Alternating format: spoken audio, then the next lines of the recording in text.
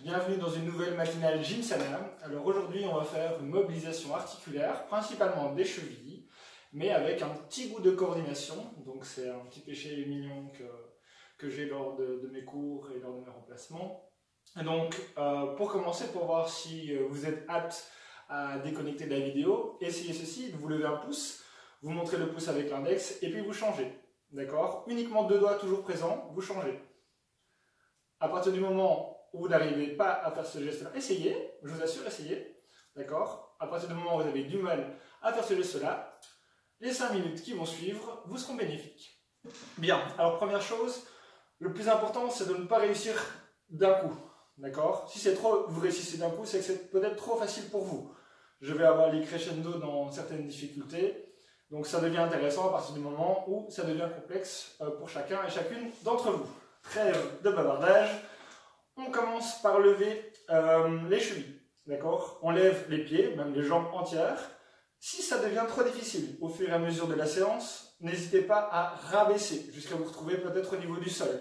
Si c'est trop facile, vous élevez, mais attention, sécurité, pas plus haut que les oreilles. Ça, c'est vraiment important. On est parti, d'accord? On fait une cheville vers l'avant et l'autre en alternance. Voilà. Des petits mouvements. On n'oublie pas de continuer à respirer. Ça va également contracter les muscles des quadriceps. Vous allez voir, au final, les 3 minutes qui vont suivre, on va commencer à sentir un petit peu les jambes, tout en étant assis. Oui.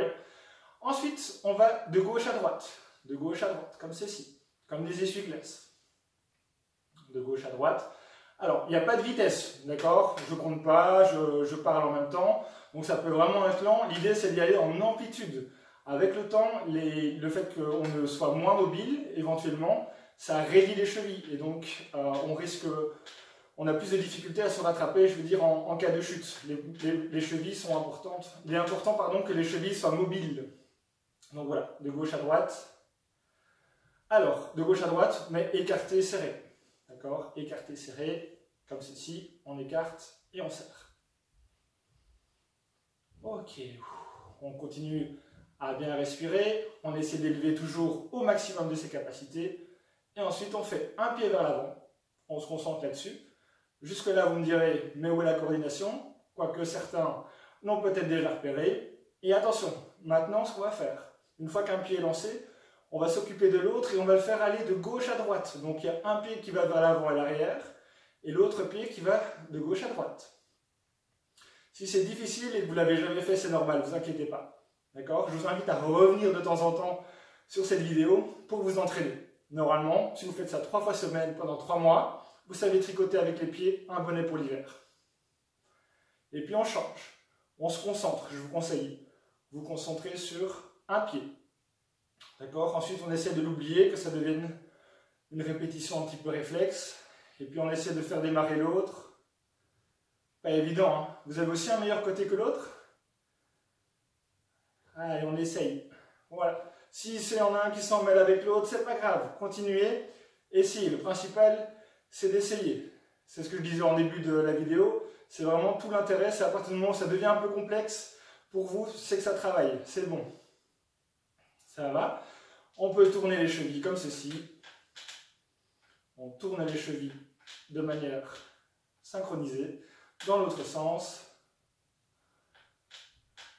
Ok. Et puis on va essayer les chevilles en décalé. Donc on les tourne toujours dans le même sens, mais en décalé. Et puis en décalé dans l'autre sens. Toujours en essayant d'élever au maximum ou de baisser. Et on peut faire le même travail en étant proche du sol. D'accord? Ensuite, on vient et on tourne dans le sens opposé, chacune. Voilà. Bien en, en allant en amplitude. Et puis dans l'autre sens. Respirez bien. C'est bientôt la fin. Courage. Dans l'autre sens. Ok. Dernier petit exercice. On met les talons ensemble, on joint les pointes. Les talons ensemble, on joint les pointes. Talons, pointe. Talon, pointe. Talon, pointe. On rajoute une étape. Allez. Talon, pointe et talon, pointe. Talon, pointe, talon, pointe, talon, pointe, talon, pointe. Je décompose un peu moins vite, donc on touche les talons ensemble, les pointes, et on superpose. Les talons, les pointes, et on superpose. Les talons, les pointes, et on superpose. Et puis on relâche les pieds. Et voilà, de quoi démarrer du bon pied la journée. Passez une bonne journée